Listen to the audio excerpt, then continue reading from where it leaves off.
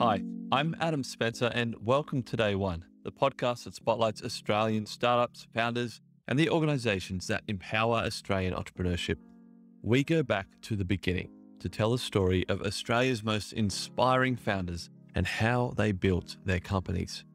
You're listening to a special interview series as part of a documentary W2D1 is producing about the history of the Australian startup ecosystem. On the episode today, we have. Hi, I'm Ric Richardson, serial inventor, and uh, fairly well known for the guy that won a big court case against Microsoft for patent infringement back in the early 2010s. So, can you give us a little elevator pitch about what you're up to at the moment? I've actually got three fairly heavy projects on at the moment. One is just the most recent thing is Wallet Nation, which I'm doing with uh, Angela Clark ex uh, VP from CBA. Mm-hmm. I've also got a project called Deadbolt, which we're really struggling to find a CEO for, but it looks like I'm partnering up with a uh, VC who is, you know, wants to take over management for the project, and that is working out how to curb ransomware, which is pretty heavy. And uh, Haven Tech, which is my baby, started with uh, with uh, Tony Castagna, and uh, that is getting rid of passwords for logging onto sites. You know, want to make passwords a thing of the past.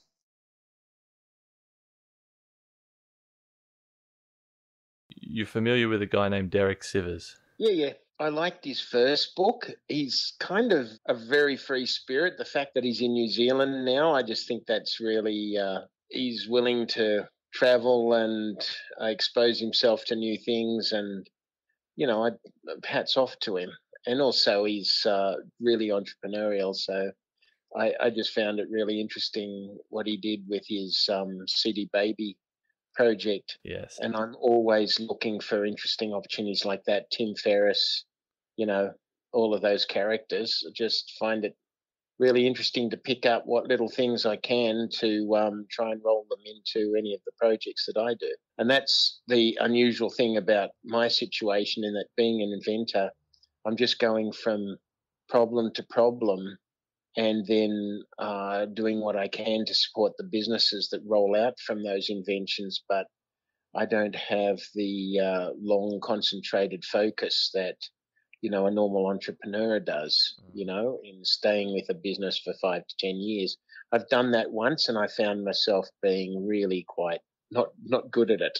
So uh, is there anything two ways. One, one way is there anything that from your you know inventing that you've taken out of that that helped you run a company and and vice versa? Is there anything that running a company helped you be a better inventor? Um the the problem is that one of the most important things for inventors is to be self-aware.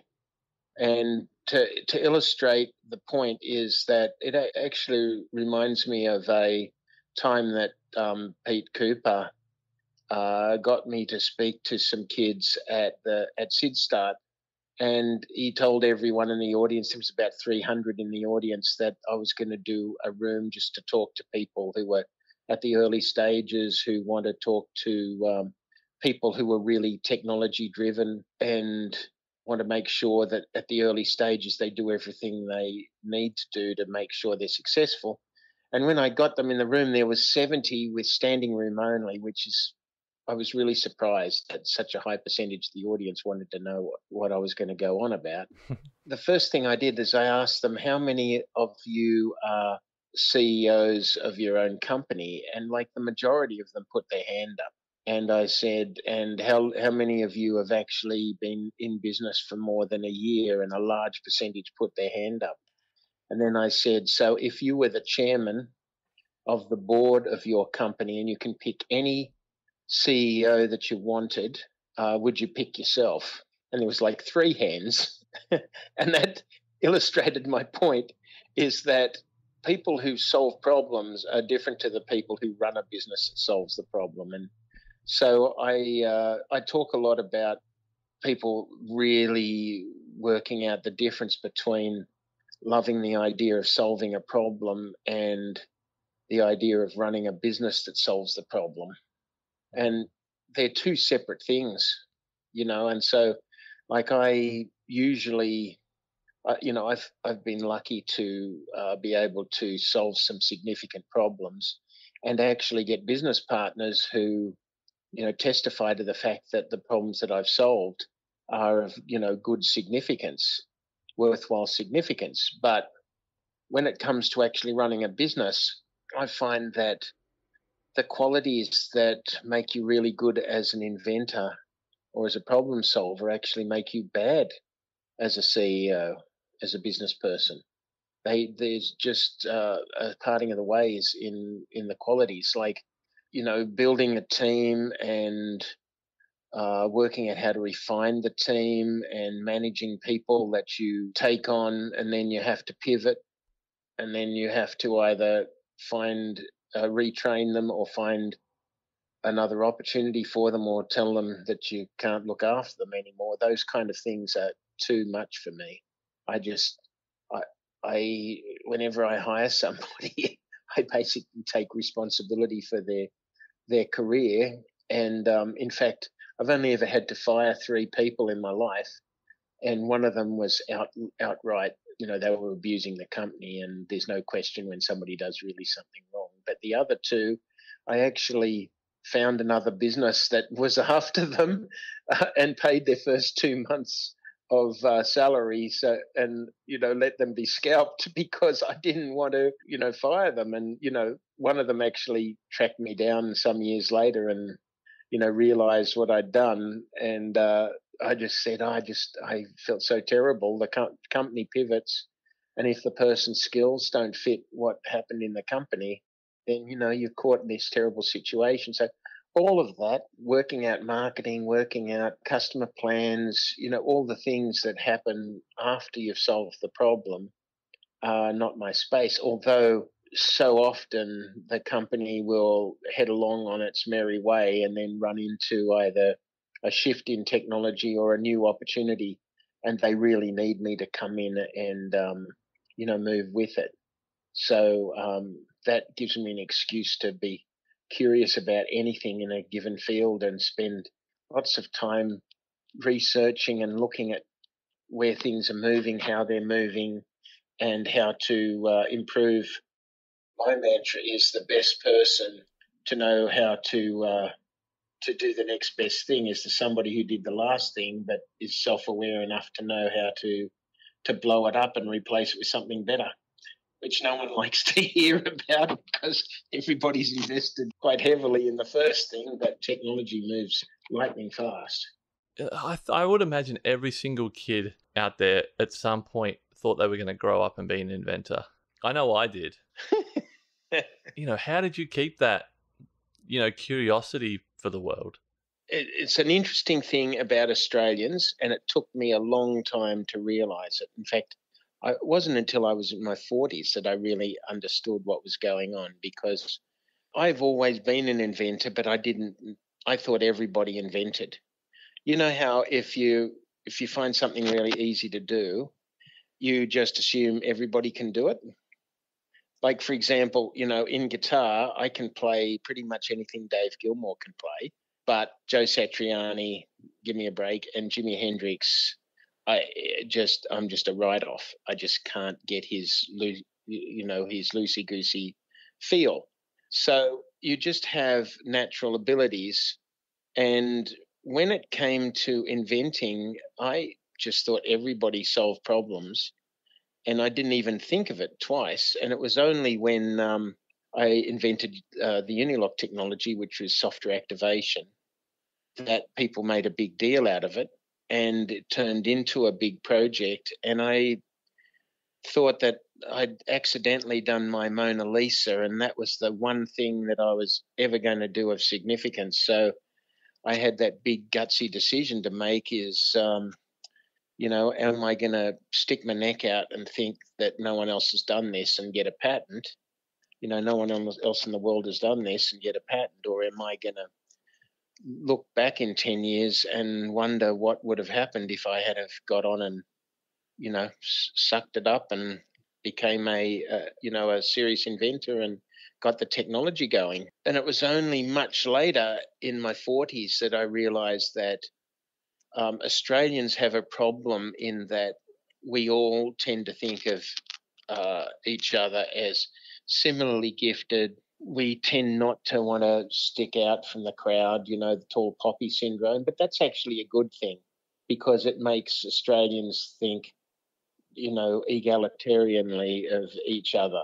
And, and I find that um, I find that refreshing. You know, when my wife and I got home from living in the States for 10 years, that's one of the great things about being home is that everybody thinks of each other as generally, you know, another Aussie and knows no errors and graces. And of course, you run into people that are that think they're God's gift, but um, most most Aussies have got a pretty good self evaluation, and and you just find that refreshing. You know, once you've travelled around the world, you see people that are climbing over themselves to in socially or uh, financially, and um, it's you know Byron Bay. That's what I love about living here is the richest guy is still in shorts and t-shirt, and and the homeless guy's in a shorts and t-shirts. You can't really tell the difference. You know, it's really good. Back in '92, when you started Uniloc, am I, am I right with that timeline? 92. Um, you know, the startup support that exists today obviously did not exist then. What what did you like? Who did how, how did you get started who, at that time? Like, who did you lean on? Who was there to help you, th- you know, figure it all out? I had a pretty good run. I had a very dear friend, Jim Revitt, who was the um, correspondent, television correspondent for uh, ABC Television for Vietnam and he was a tremendous mentor for me and helped me get some news stories going and that found some people who came in to support financially uh, my parents they didn't even really understand what a patent was but they invested the the first big chunk of money for me to be able to do patents and patents were a lot more expensive back then than they are now even though they're still very expensive. You know, you you can spend thirty five to two hundred grand per patent for in, for international rights. You know, and that's just for one country, right? So it can get quite expensive. But the problem is that if you really are an inventor and you're self aware, you know that the chances of you moving fast enough as a entrepreneur, as a businessman, is so low that you have to have some kind of insurance that makes sure that if somebody just takes your idea and runs with it, that uh, you've been seen to do the right thing by the people who love you, the people that you know uh, support you, and uh, the people who've invested in the project. You know, you, you really have a responsibility to do that. And uh, it turned out that uh, you know, nearly a decade later, over a decade later, that investment was was worthwhile. It's not doesn't pay out for a lot of people, but um, I just think it's irresponsible to uh, to not have a patent. Uh, you know, I have this expression that not having a patent is like having a Lamborghini and leaving the keys in it. You know, it, it's just irresponsible. Hmm. yeah. How many inventions would you say you had come up with prior to the activation technology? Um, I was pretty regular at it. It's just I'd call it problem solving, but the difference between my kind of problem solving and a normal person's problem solving is, you know, how far apart the dots are that you connect, you know, to solve the problem. And I've always had a knack for being able to, you know, join dots that are not really easily uh, connected. So, you know, even as a kid, I was exploring bike designs that were more like a motorbike, straight tubing. You know, when the Mongoose BMX bike came out, I was so disappointed because I thought someone had stolen my idea. you know, and using motorbike handlebars instead of dragster handlebars and you know all that kind of thing and just what you think is needed to solve the problem especially if you're doing jumps and stuff like that it's different to a dragster there's just there's something very uncool about, you know, jumping off a mound of dirt with a dragster. Malvern Star Dragster. But, um, you know, and also getting into motorbikes and stuff like that, you could just see straight away that BMX bikes were that, you know, that's the direction. And then also um, different designs of skateboards, skating uh, with parallel as if you're skiing, because my family were skiers. So that's like, I'm talking like 13 years of age, really young. I'm the, you know, those those kind of things were quite young, but you know, I thought everybody tinkered with, uh, you know, their ideas. And then uh, later on in the music industry, I was the first guy to connect a Macintosh to a Fairlight and to get it to automate the Fairlight's loading, which Fairlight's is a famous music computer. And I became fairly well known as the guy who um, could get a Fairlight to jump through hoops and you know got to write in electronic musician magazine and you know all these different get to talk to all these great musos. And uh, it was my excuse. If i wasn't the top musician in australia i could be you know one of the rare computer music literate musicians in australia. And that you know enabled me to meet all kinds of interesting people like you know Chris Currell was michael jackson's synclavier operator, and he and I became friends. I got exposed to a real lot of interesting people, but at the heart of it, it was just that ability to tinker and to um, you know solve problems eh, that other people don't see. And then eventually, I moved into solving a problem that was of such significance that it meant that I dropped everything else and just focused on it. Yeah. Well, that, that's why I asked how many other inventions you had come up with because I'm, you know, the activation technology, that was the first patent, right, that you'd ever yeah. applied for. How did you know, like, big risk? You said it does, it costed a lot of money to do that. The, the patent. Yes. Yeah. How did you know that you, you wanted to go down that road? Well, I remember sitting out the front of a party in Little Narrabeen and sitting in the gutter because I was just couldn't relate to everybody at the party because I knew that the problem I'd just solved was of really great significance. And I'd read a book by uh, Jim Fitzsimons talking about the three different ways that you protect an idea copyright, trade secret, and uh, patent.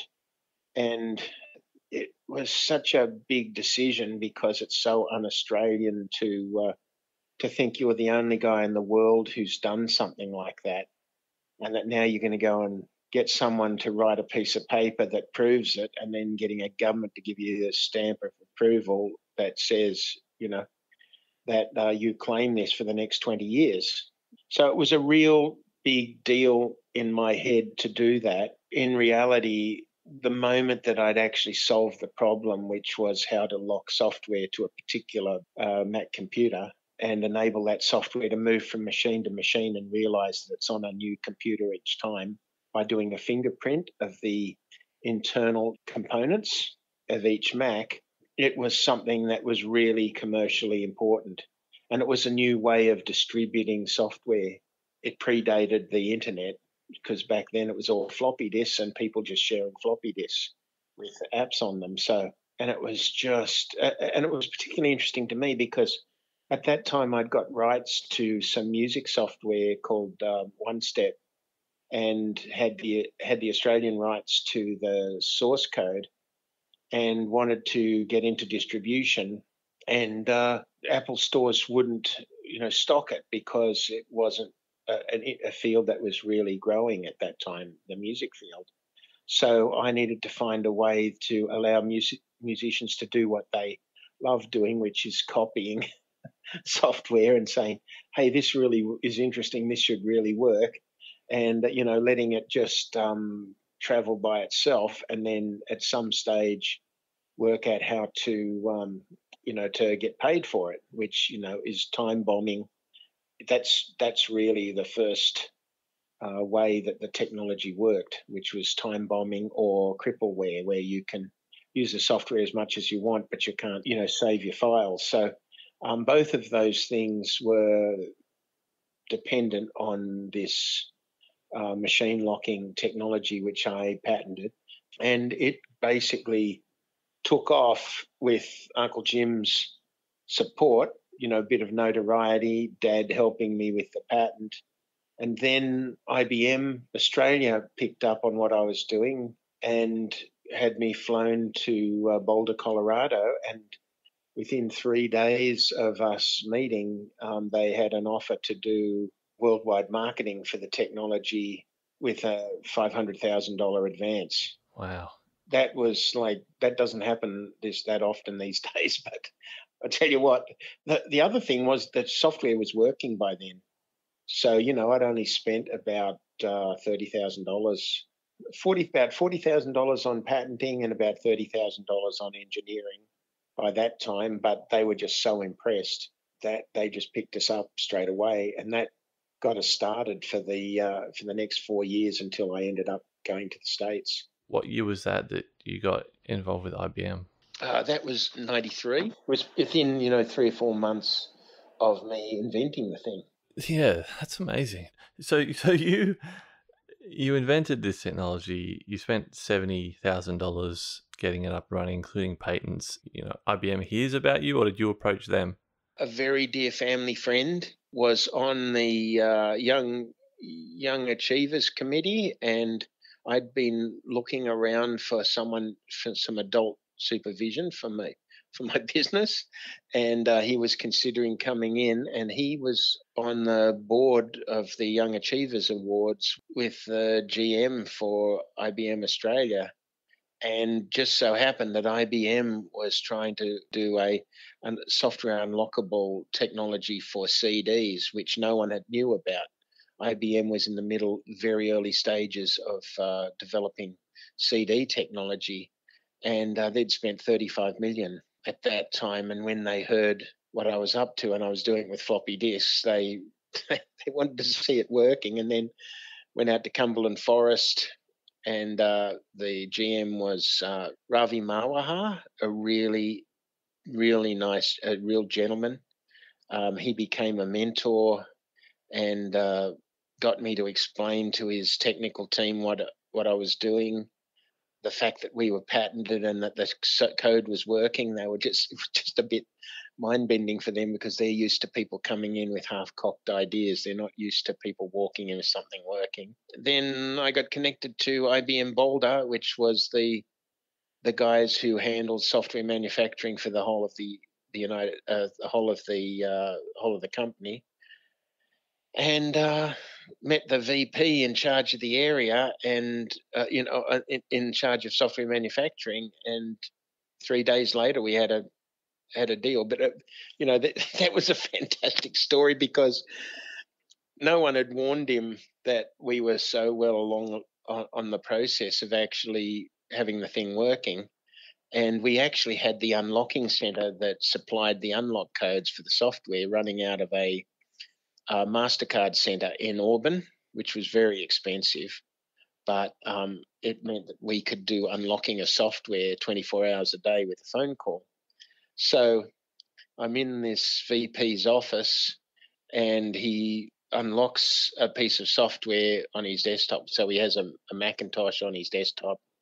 He gets the music software, he installs it, he runs the uh, runs the try and buy screen, puts his credit card details, everything. Says, now what? He says, you got to ring this number. So it, he had to ring a number in Australia and he was shocked because he thought it would be a demo. He thought I'd just give him an unlock code, and I said, "No, no, this is this is actually you're ringing the Mastercard Center in Australia." And he says it's like three o'clock in the morning, and I go, "Yep, it's 24 hours." and uh, it was pretty good fun to see his face. and he goes, "This is working. This isn't a demo. This is working." I said, "Oh well, I'm demonstrating it, but it is actually real. you are ringing up a place." And then he he rings it up and he gets an unlock code. Then he gets comes to the next Mac. I think they were the only two Macs in the whole of the facility at Boulder, and um, and puts the same details in, and the unlock code doesn't work and then he rings up and gets another unlock code and i said i just made 70 bucks that's really good and uh, and he was just so shocked and he just told all the guys in the room there was about 10 guys in the room standing there just looking at these two macs and he said get everybody down here. We're going to the conference room. Wow. And the guy who was looking after us stayed with us in, in his room. And I said, What just happened? Am I in trouble? He said, No, they didn't realize that this was actually working. Hmm. They didn't realize that you'd, you'd actually solved the problem because they spent $35 million and they're only about 25% of the way towards what you're doing. Wow. and he said, Ric, you just knocked it out of the park. And I went, oh, great. Well, I hope it works. so it was, it was, uh, it was pretty exciting. Yeah. No, so obviously 92, 93 in Australia, the, the you know the startup ecosystem, you know startup support, all the stuff that exists today, you know, did not exist then. No. Going over to the US, was there anything that shocked you about the difference between the business kind of landscape between Australia and the US? Well, I, the only reason I had to go there was that all of our customers were all in the States. IBM had developed relationships in the States. They had moved uh, all their software manufacturing into Lotus, and Lotus basically stopped doing software manufacturing and just focused on on their own products. So I could see support for us dwindling, and if I didn't do something, I'm I was confronted with uh, possibly going bankrupt. You know, the company not surviving it. So I had to go to the states, and uh, things just happen on a scale there that um, it's very hard to for an Australian to comprehend. Things move so much faster, and there's so much support. You know, Americans are so good at um, getting in behind an interesting idea. It certainly is the place to be if you, uh, you know, really want to, you know, hard charge. But the the the advantage of Australia is that its conservatism and its its risk averseness actually means that you do a lot of due diligence and you actually are a lot more careful and so I'd say that the quality of the projects here are, are generally really high. The ability to scam here is so much harder and people take the responsibility a lot a lot more. There's a lot of fast talkers. Like one of the big advantages as an aussie it's a disadvantage and, a, and an advantage in that when i made promises they were usually round about 80% of what I knew I could deliver. Just because I felt the responsibility, you know, having started the business with my parents and with IBM, they actually just loaned me the money. They weren't my business partners or anything. But the fact that I felt that much responsibility early, I had not experienced what it's like to have big money thrown at you and have more money than sense, you know, in a business. But, you know, when I got to the States, it, it was also just before the 2000 bubble too, so it was really I felt really uh, a lot of pressure not to uh, abuse the situation. And you could see people left, right, and centre setting up, you know, dial up internet companies. There was all kinds of uh, shenanigans going on and so many interesting opportunities to get involved with. That's, that's the other thing is that so much is happening there that it's very hard to uh, stick to your knitting. You know, Australia, that's part of the reason why I'm in Byron Bay is also that I get to visit Sydney from time to time. And when I go down there, it's always packed with people to visit and people to see. But you do get an opportunity to to clear your head and really think things out when you're away from it all. And it's even worse in LA. Like um, when I first became went back to being a full time inventor in 2007, my business partner Craig Etchegoyen would still get me sometimes Monday and Wednesday for lunch, and it would always be some business deal, some person come to us with some idea to uh, you know to peruse, and it's so interesting and it's so easy to get sucked up into interesting projects but you get your eye off the ball because if you really want to put a dent in the universe, you've got to really do a lot of focused thinking. I, I know what it's like to tinker around with small to medium size inventions, and I know what it's like to have an invention be used on two and a half billion machines, you know. Like uh, software activation is used pretty pervasively, and uh, you know, I'd love to, once I learned how to do that, I'd love to, you know, do it multiple times because that's a, that's as an inventor, it's seeing people use your use your idea is um, a tr- wonderful privilege. How does it make you feel that to have that big of an impact on the world? It's funny, you know, like it's interesting inventing for the first, you know, few months when you're solving a problem, you're usually solving it for yourself or you're solving it for a group of people that you care about and then you see the potential for the thing to go much bigger.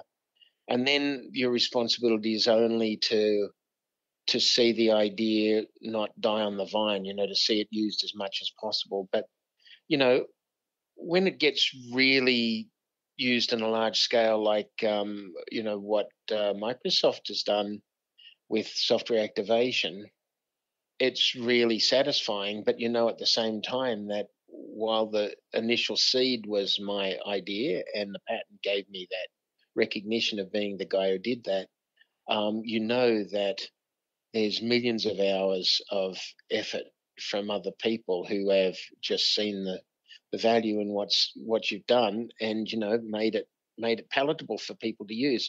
But you know for me the fact that it um, is responsible for 26% of microsoft sales you know software activation at the time was responsible for 26% of that microsoft sales. And you know that's that's really uh, uh, that's really significant but you know, like uh, the next project, Haventec, I designed it for my parents so that they could use a four digit PIN and not a password, and that their passwords, that nothing needed to be stored on the server side. It's a interesting concept what I built for uh, for them actually, and my friend Tony Castagna is the uh, co-founder, business co-founder on that. And uh, you know, we haven't broken the back of that there's some banks and some big enterprises are using it. So I know that it's working and that people are benefiting from it. But until you know it's used uh, pervasively, I wouldn't say that that project's finished. You know, so um, you know, there's always what's next, what you haven't done, and um, that's my life much more than sitting around looking at you know past past achievements. Although it does give you confidence especially when you're looking at a problem that uh, confounds you.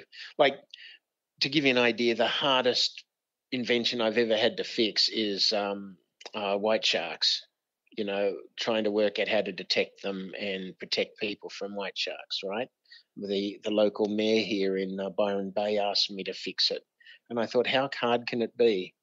And it is so hard because there's nothing known about the the darn things. There's so many people that have an opinion about whatever you're going to do. Just it's just a technical nightmare. And although I think we have broken the back of that problem, and it's like limited in this in its uh, financial scope and return possibilities, it still is one of the most irritating problems I've ever had to solve. You know, give me a quantum computer or something else like that. That's much more fun. you know. What's your process when when someone comes to you with this problem? Like, how do you attack it? Um, most of my problems are me trying to fix things myself.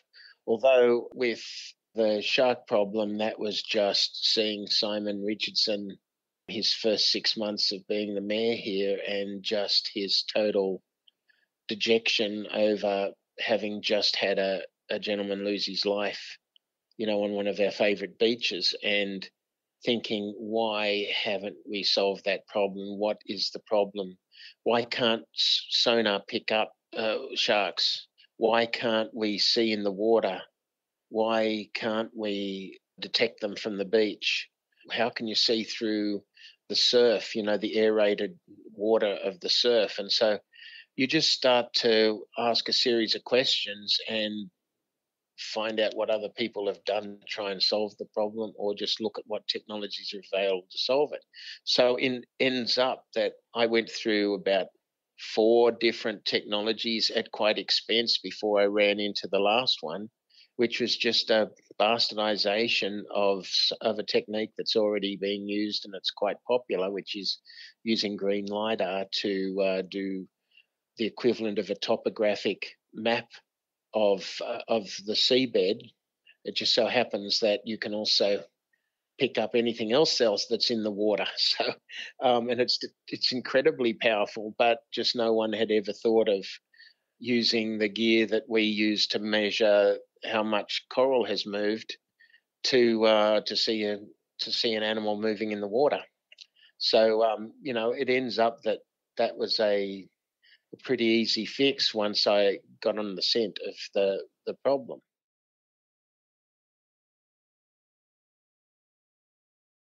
Oh, we're probably going to skip over a, a, fair bit of the story, you know, the US part by asking this question. But wh- when did you move back to Australia, and how did you kind of start to get involved in the Australian ecosystem as it was uh, kind of evolving? Yeah, I came back in 2008 and had pretty much uh, the company was running by itself by then, and I'd gradually learned how dispensable I was as a manager, as as management, and uh, you know, the more I tried to um, find myself a job with Craig who was the CEO. He started. We started out as co-CEOs. Then I became the CTO. Then I became chief scientist, and then I did ten patents for the company. And then after that, I thought, I love doing this. This is my real fun. The real fun I had was the first three months at doing it Uniloc. After that, being a CEO wasn't that much fun, and so he he let me off the hook, and I could come home and we had enough uh, resources that my wife could pick wherever we wanted to go.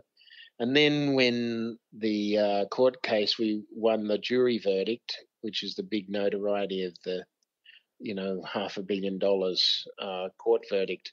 Everybody assumed that I'd loaded up and everybody wanted investment and everything. but I started getting in, uh, invited to uh, speak at Tech 23 and places like that just to tell the story. Because uh, it is inspiring for people, especially in the very early stages when they're thinking about whether they just do the the whole you know go as fast as you can thing and forget about intellectual property as against you know doing it properly and the cost and the the rigmarole of doing patents by in, getting involved with that group i realized looking out at those faces at tech 23 and at SydStart and at fishburners uh, you know all of the promise and all the hope there that I shouldn't just uh, take that for granted. And then there was two Australian stories, which were totally unexpected. Was the amount of enthusiasm for those for those episodes? Like um, Jack Brabham's story was the week before mine, and I thought, wow, Jack Brabham, you know, he's a he's a national icon. He's favorite son, and uh, my thing came up, and it just it was two million pe- people watched it in the first week. And I just thought that's really ridiculous. And it's not just the headline because I'd been in the front cover of the Sydney Morning Herald, being, uh, you know, with the win from Microsoft. Um, so, you know, that's always a draw card. People love to see big money, but um, the story was about being an inventor and about being a normal Australian having a go. And uh, it just really i had thousands of people sending support and talking about how their uncle or you know their son or dad called each other and started talking about their garage projects and how you know it was kind of inspiring to see a normal bloke have a go at something like that. And so i sat after that all of that you know interest and i thought you know two million Australians had spent three quarters of an hour, you know, listening to me, to my story and my wife and my story and the story of Uniloc. And I'm thinking, how do you repay that? So I started, um, you know, doing Friday uh, morning uh, inventor inventor mornings where I talk to inventors for, uh, you know, 20 minutes to an hour, and they just they just turn up at a local restaurant where word got around that I was, and people just turn up and it people would sit there in a line waiting for me to talk to them, and it, it just got out of hand. And I realised that I had to get off my backside and go out and give back to uh, all of this support and interest, and also things like that are not just um, you know something that happened to me. It's something that's uh, really important for people who are really doing a gutsy thing, which is you know trying to solve a problem. It's not just all business people and trying to go IPO. It's people genuinely trying to solve a problem and spending a, a big part of their life giving up some of the things that should be, you know, given to playing soccer on the weekend. No, they're tinkering and stuff, time that they should be spending with their family. No, they're tinkering, trying to get something going. And you've got to respect that, you know? Do you have any thoughts about where we are today, uh, the ecosystem, like where, where we can maybe improve or things you'd like to see happen? Well, I just love all of the uh, enthusiasm I see in all of the co working spaces and the accelerators and the incubators. I am very conscious of the fact that a lot of problem solvers are really not business people. And a lot of entrepreneurs are so enthusiastic, but they're more interested in the problem than the business.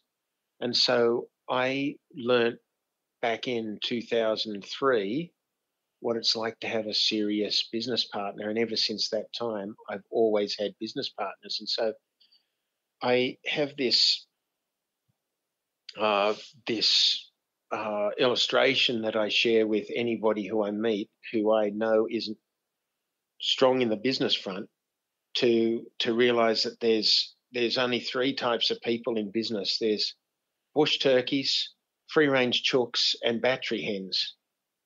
And uh, bush turkeys are really interesting, but if you sat down to a nice cafe and they said that the egg was a bush turkey egg, um, you know, there's a big question mark over it. And that's what it's like for an investor to sit with you if you are half baked as a as a business person. Um, and free range chooks, they know how to do beautiful eggs, and everybody knows the value and they're top of the range, and you know there's very low risk that the thing's not going to be a success. So I always partner with free range chooks. Battery hens, they know how to produce eggs, but they need so much infrastructure. They they're really like government and enterprise people who don't know how to to do the egg thing without all that infrastructure. So most of the people that I know who get into accelerators and to uh, co-working spaces, sometimes they are free-range chooks, but a lot of the time they are bush turkeys, and they really do need to um, partner up with the business, with the right business partner. So you know, I always have a business co-founder um, and the, the other thing is that um, I've actually been working on a project. It's a bit early to kind of go super public about it. But one of the wonderful things that uh, some volunteers and myself have discovered is the R&D tax incentive, right? And but there's a twist to it in that the tax incentive is 43% of whatever you spend in R&D, right? And if you're in the very early stages of a business, like pre-commercialization, then everything's R&D, right? Unless you're unless it's a purely social initiative. If it's if there's any technology in it, if there's any you know um, high tech applications, then it's totally R&D. And and so what we're doing is working out how to uh, factor that funding so that you actually get at the beginning of a project rather than at the end. Mm. Because it's a bit ridiculous to be going to the tax department to get money back after you've spent it, because that's when you spent your equity. Mm. That's when you've spent all your credit cards and you're like at the bottom of the barrel. Mm. So we're working out how to um, to bridge finance the R and D incentive, which means if you have a good budget, you only need to find 60% of the funding. And then uh, we go from there, working out how to help them get friends and family round, and then an angel uh, angel support where they're coming in for the bare minimum that they need to to get to get funded, but also to help problem solvers, and that's why I'm calling them because problem solvers can be inventors or they can be entrepreneurs, but also to free them of that situation where they're walking into a room with investors and they're starting to talk about an ROI. It's just not feasible and no one believes it anyway because if they haven't got business experience in the field that they're solving the problem for no one will believe them anyway and so uh, you know and that's that's the most embarrassing thing like every time i watch um, shark tank or you know one of these other shows if those people actually had a serious business person standing next to them who actually knew about the industry knew exactly how how to structure their deal, what the how to prove the equity valuation. You know, because those those people in Shark Tank, they're actually not uh, seed investors. They're really uh, growth investors, right? And so it's unfair to put um, people that are you know at the embryonic stages. It's just it's just entertainment. You're not actually helping in that situation. You're just embarrassing them you know so i i just kind of feel that that's that's the area that we need to do a lot of help it's it's great for everybody to be in a room with other um, entrepreneurs and other startups to learn together um, you know how that works but to me i i do the reverse. I actually look for a an experienced business person and bring them in as my business partner so i can take my idea and place it with execution that has experience and knows what they're doing, but at the same time not be a enterprise execution person who doesn't know how to start something when you're, you know, starting from scratch. Because that's a pretty a pretty rare, you know, skill set. I've really enjoyed this interview, Ric. I love your story. Thanks, mate. No worries. The last question is a question that I ask everybody. It's just the advice question. Yeah, sure. You know, if a if a brand new founder or inventor come to you tomorrow, what one piece of advice would you give them? Self awareness. Know what you're good at and what you're not good at, mm-hmm. and don't try to don't assume. There's a big problem with inventors, especially good inventors, is that people say, "Wow, you've solved this problem. You can run that business." and their skill sets are completely different. So, self awareness, the ability to actually say, hey, I can't do everything, and to spend as much time finding that co founder as you did and solving the problem. Um, that's really important if you're like me. If you're a, um, a problem solver and you're not, you don't, you don't love the business side of it because you know the business side of it is details and discipline and high speed execution and cycling you know it's lots of work but people there's there's a mindset and there's a capability that's really um, loves that. Like my most recent uh, business partner is angela clark and she is so organized it's actually scary to see somebody. She was running Beem It for the big four banks. It's a a payments app, and uh, she did everything from the user experience right through to the marketing plan, everything personally, and handled quite a you know a large project. And she gives me the job list for the week, and then I'll vanish for three days and come back with a patent. And she thinks, oh, that's incredible that you did that. But I'm kind of scared of the list of things that I didn't get done. and it's just that she is a powerhouse, you know, staying on top of things, just seeing the way everybody uh, surrounds her and wants to support her means that, you know, she's got a good shot at actually making this thing successful.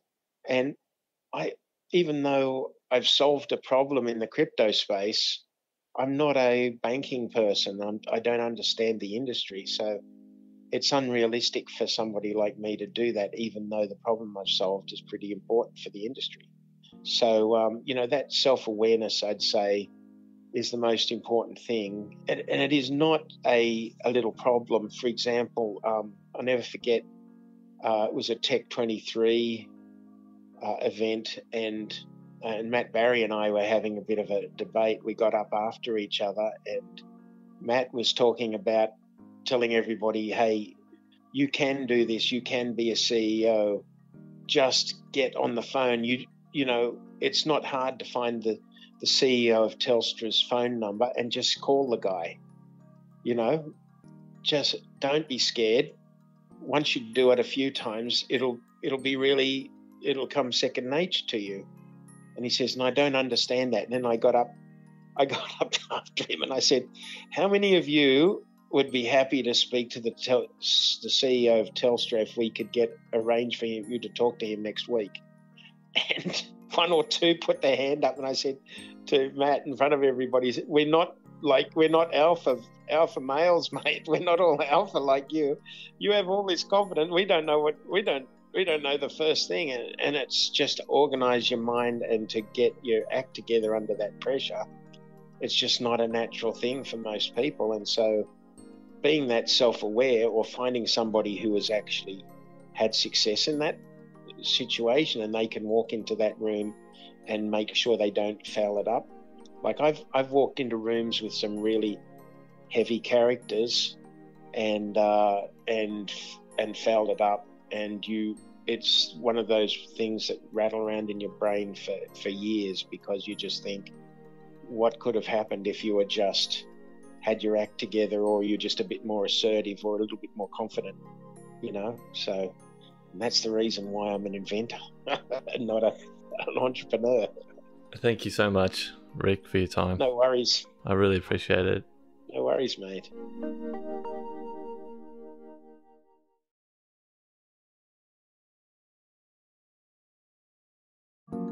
I hope you enjoyed that interview. More interviews are on the way. Follow the podcast wherever you're listening right now. Stay tuned for more interviews with many, many more amazing people from the Australian startup ecosystem. Thanks for listening and see you next time.